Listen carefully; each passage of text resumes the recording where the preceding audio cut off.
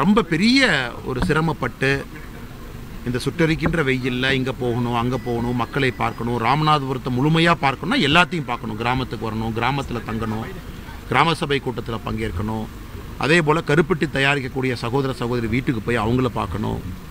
அதே போல் இந்த பகுதியில் நடக்கணும் இவங்களையெல்லாம் சந்திக்கணும். ரொம்ப யோசித்து அவங்க வந்து எங்களை எல்லா இடத்துக்கும் கூட்டிகிட்டு போயிருக்காங்க. இங்கிருந்து செல்லும் பொழுது எந்த அளவுக்கு ராமநாதபுரத்தில் ஒரு தேசிய மண்ணாக இது இருக்கிறது ஏன்னா எல்லா பெரிய பெரிய ஒரு மனிதர்கள் வாழ்ந்த ஊர் இது.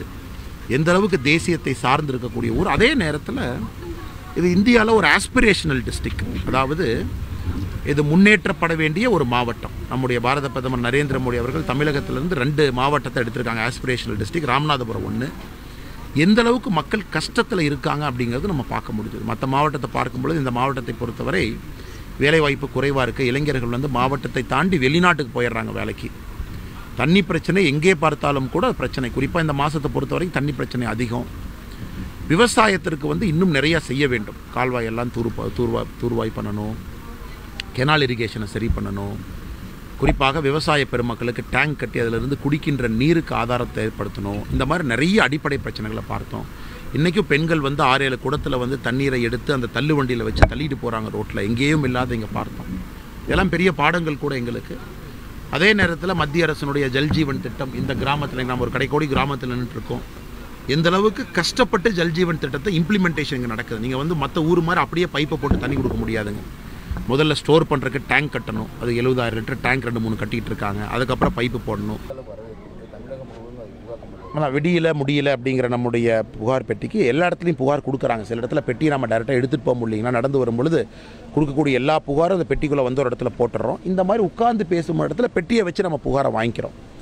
ஸோ இன்னும் நாங்கள் ஆக்சுவலாக வந்து எல்லா புகாரையும் திறந்து படிக்கலிங்கண்ணா ஆரம்ப கட்ட காலம்.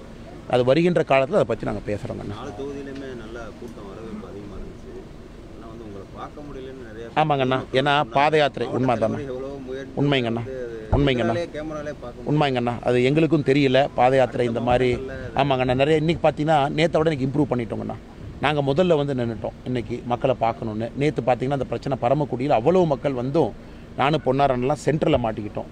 ஏன்னா கட்சி நண்பர்களுக்கும் ஆர்வம் இருக்குது கூட வரணும் அப்படின்னு. அதே நேரத்தில் பொதுமக்களும் பார்க்கணும்னு இருக்குது ஸோ ராமநாதபுரம் ஒரு யுனிக்குங்கண்ணா அவ்வளோ கடினமான உழைப்பு மாவட்ட தலைமை போட்டிருக்காங்க. குறிப்பாக தலைவர் நம்ம தரணி அண்ணன்.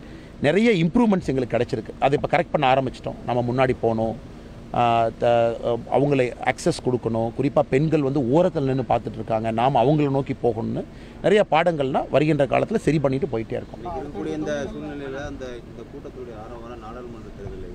ஆனால் எதிரொலிக்குங்கிற நம்பிக்கை எங்களுக்கு இருக்குண்ணா காரணம் பாரதிய ஜனதா கொண்டு வர செய்தி வந்து புதிய செய்தி. பிரதமர் செய்திருக்கக்கூடிய சாதனையாக பட்டியலிட்டு ஒரு இடத்துல சொல்லிட்டு போகிறோம் அதனால் மக்களுக்கு அந்த ஆர்வம் இருக்குது நிச்சயமாக எதிரொலிக்குங்கிற நம்பிக்கை எங்களுக்கு இருக்குது அதே நேரத்தில் நான் வந்து இன்றைக்கி நம்முடைய கட்சி தலைவர்கிட்ட கூட சொன்னேன். குறிப்பாக வந்து மீடியா நண்பர்கள் ஒரு செய்தியை சேகரிப்பதில் எந்த அளவுக்கு வந்து அவங்க ஹார்ட் ஒர்க் போட்டிருக்காங்களோ அந்த அளவுக்கு நாமும் மக்களை சந்திப்பதில் ஹார்ட் ஒர்க் போடணும். அன்றைக்கி ஒரு அண்ணனை பார்த்தேன் ஷூ கூட போடல வெறும் செருப்பில் இருந்தார் ஒரு மீடியா சகோதரர்.